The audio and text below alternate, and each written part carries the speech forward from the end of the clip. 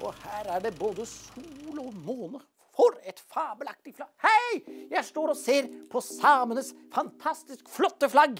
Ah, jeg skulle ønske at alle flagg kunne være like fargerike og artige. Ja, men det er det ikke. Ja, forresten. Visste du at ø, sameskoene, som kalles skaller, faktisk er oppkalt etter ekte hodeskaller? Det er altså sant. Fordi samenes festdrakt kalles jo for kofte.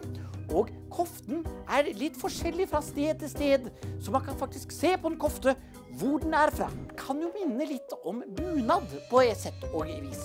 Eh, For til bunad så har man jo bunadssko, og det er forskjellig mellom mann og kvinne. Sånn er det også med koften, bare at der har de ikke bunadssko. der har de altså skaller.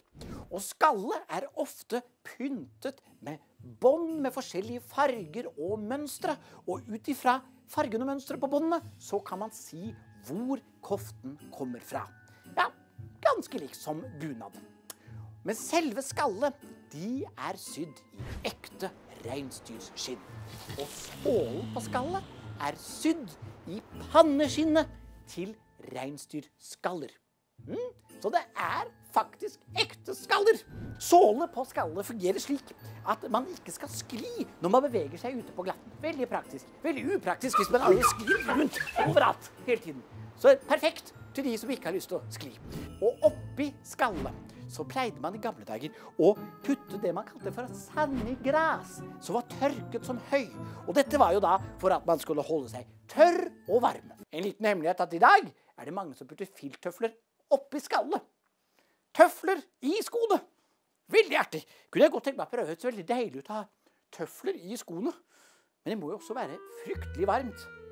Men det er nok litt av poenget. Fordi det kan bli fryktelig kaldt i deler av samenes land. F.eks. Karasjok.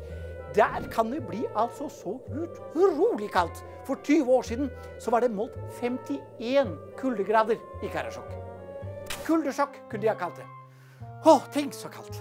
Jeg lurer på hva skjer hvis man tisser ute når det er så kaldt? Blir det da til tis?